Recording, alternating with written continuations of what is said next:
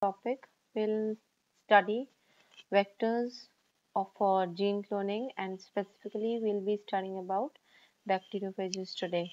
So as we discussed about the first DNA uh, vector for gene cloning as plasmids, this presentation or this video will be about bacteriophages.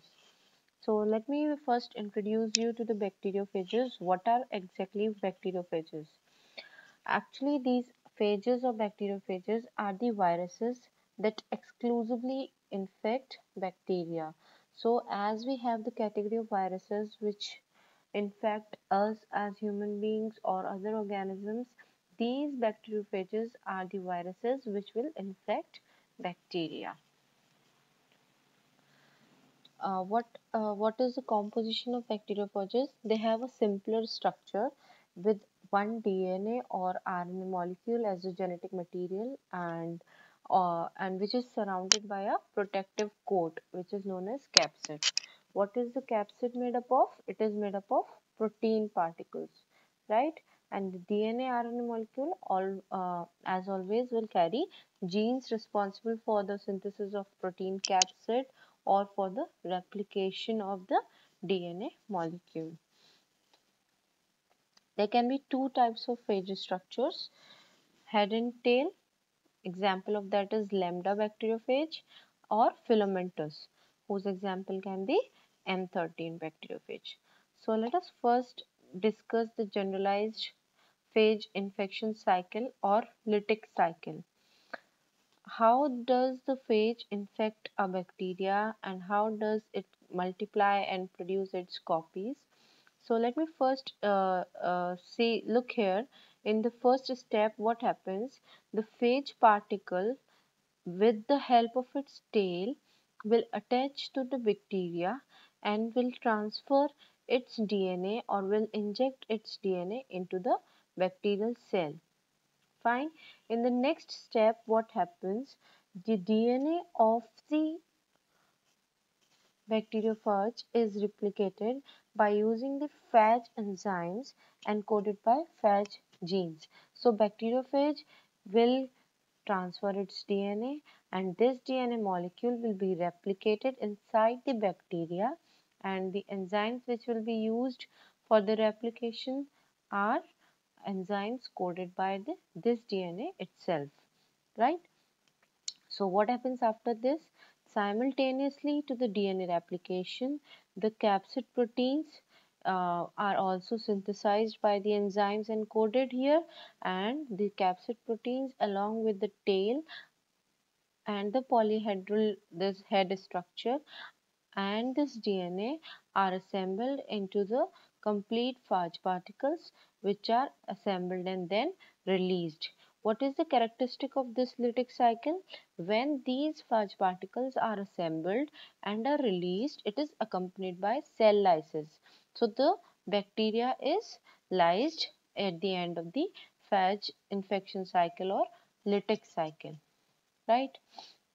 There is another uh, category of phages which follow lysogenic phages. So what happens certain bacteriophage under certain condition will follow a lytic cycle and if they are induced to certain other conditions if they are like maybe some other temperatures or some other environmental factor it will undergo lysogenic infection cycle.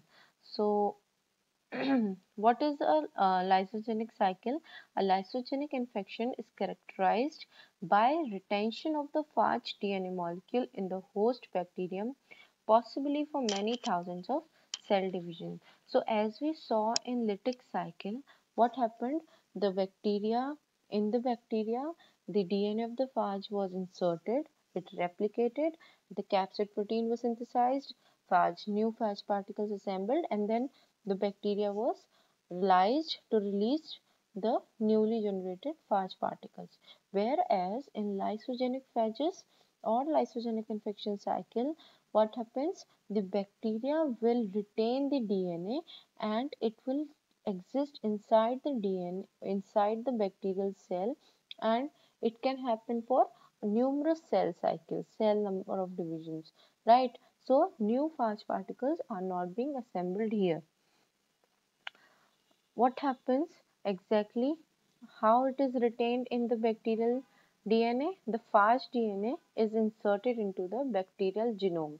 So, the DNA of the uh, bacteriophage will insert itself in the genome of the bacteria or the host bacterium.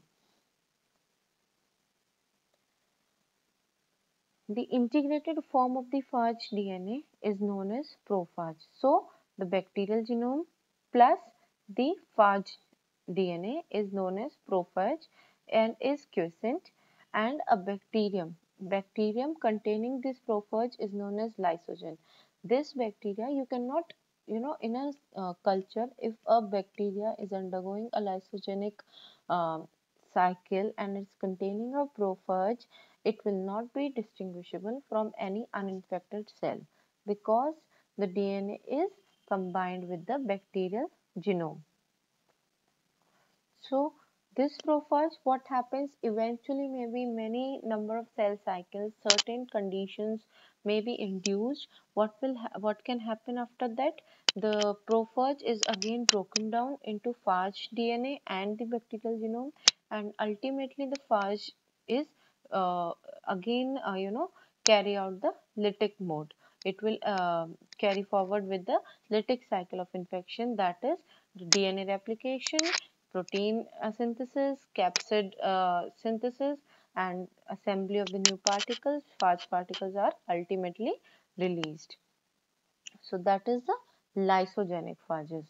How a lysogenic cycle takes place uh, let us see the example of lambda bacteriophage uh, similarly along with the like just like the earlier uh, lytic cycle the dna is inserted or injected inside the cell bacterial uh, this is bacterial chromosome. The lambda dna uh, the linear lambda dna will circularize under the bacterial cell and then it is integrated or incorporated inside the genome of the bacterial cell. So this is the prophage. The prophage is formed and it stays like that for numerous cell cycles or cell divisions. So, and the prophage is passed on to the progeny or the daughter bacterial cells.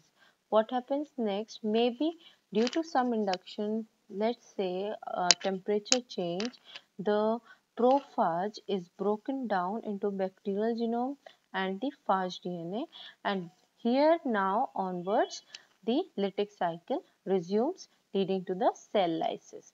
So this is the lysogenic cycle. The DNA is incorporated into the bacterial genome leading to the formation of prophage. Right?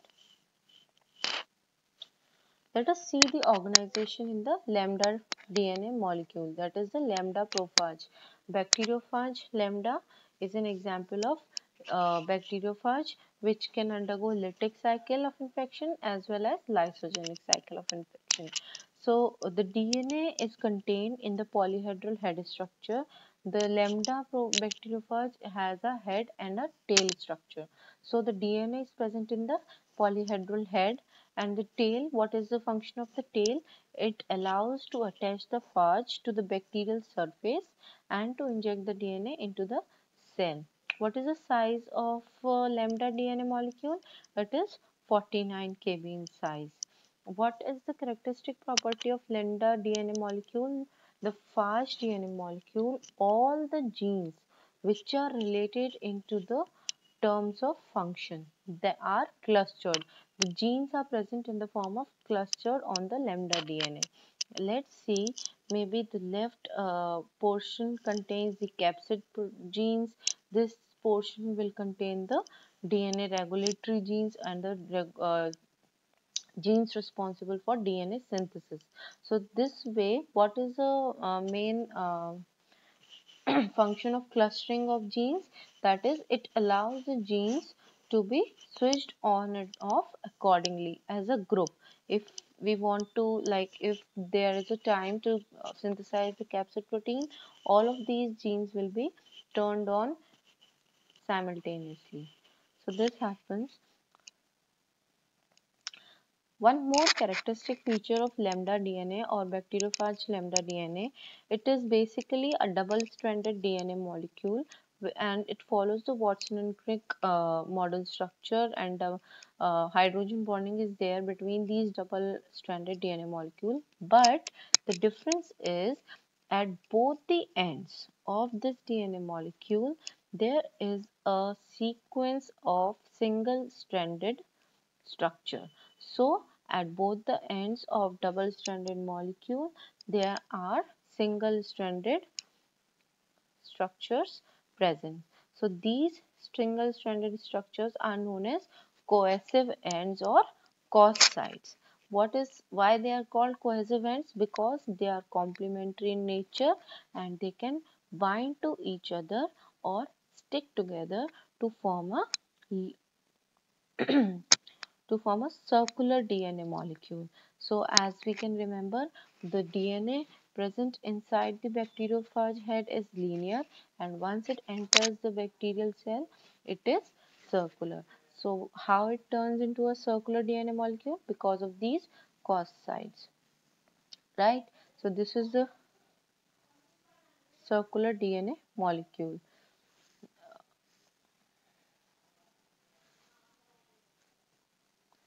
So uh, there can be two uh, functions of these cos sites. First is uh, just as I told you right now, it forms the circular DNA molecule, which is an important point. If that prophage has to be formed, the circularization of this DNA is very important because once it is uh, in the circular form, then only it can be inserted into bacterial genome.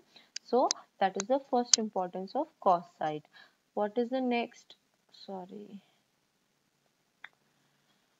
Yeah, let us resume. What is the next function of cos site? Once the um, phage DNA is excluded from the bacterial genome and it has under undergoing the lytic cycle and it is being replicated, the DNA molecules are being formed. How it is formed? By the rolling circle mechanism and for, in that case a catenane of lambda DNA molecule is formed. Just have a look like 1, 2, 3.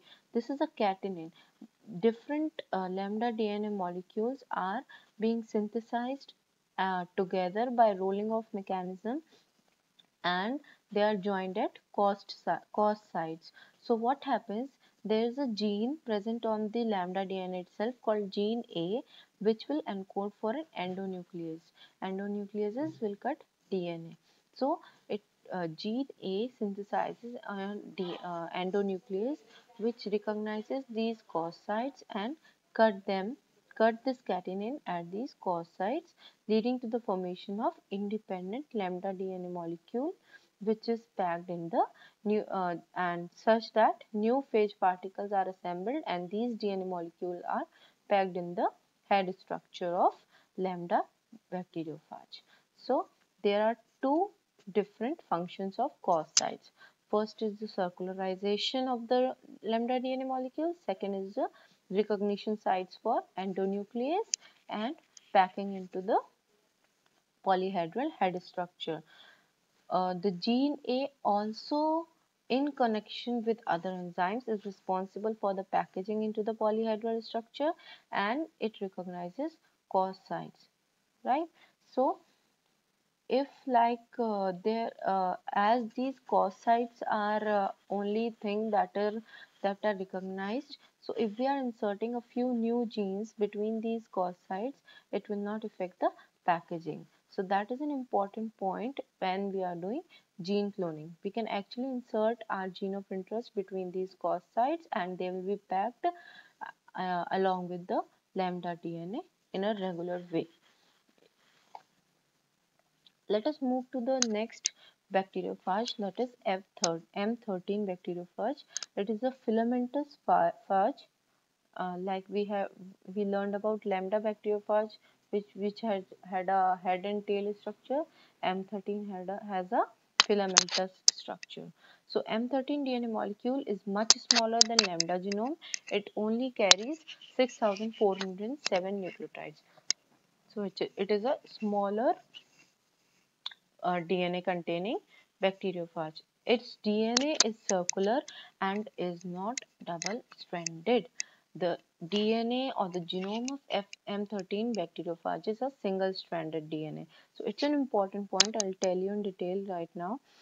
Let us move and it has fewer genes. So all automatically if the DNA is smaller it will contain fewer genes and it, it can be justified by the fact that the filament or the capsule of this bacteriophage is made up of just only just three proteins whereas the capsid of the polyhedral head and tail structure of the lambda genome of the lambda bacteriophage is made up of 15 proteins. So we required more genes over there whereas we have only few genes over there.